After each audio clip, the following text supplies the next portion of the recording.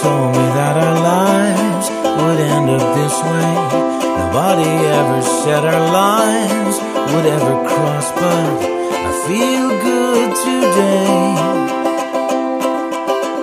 Can you hear what they're saying? Here's to the new beginning. Welcome to Youthreach. Come on in have a look.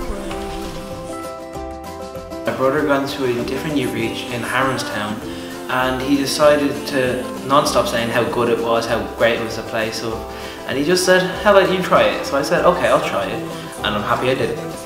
In Youthreach, I love woodwork, a class that we have. It's more hands-on, a better approach and it's really good for everything. in school up to fifth year and then like it just wasn't for me so then the yacht worker was telling me about your reach and I said I'll just give it a go. To I like woodwork and computers?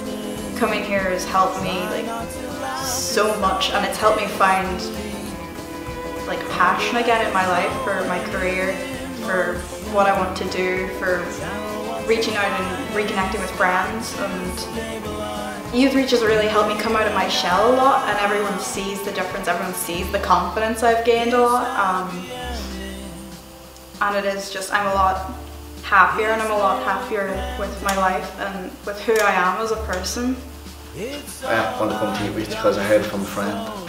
Because they're like, oh yeah, you Reach is a good, like, positive place to come. and lately reach hopefully I get a pension as a uh, electrician.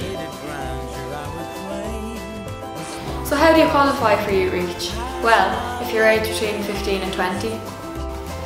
Have you left mainstream school early? Do you want to further your education? Are you willing to commit to the programme offered in this centre? Are you willing to embrace a challenging and exciting opportunity?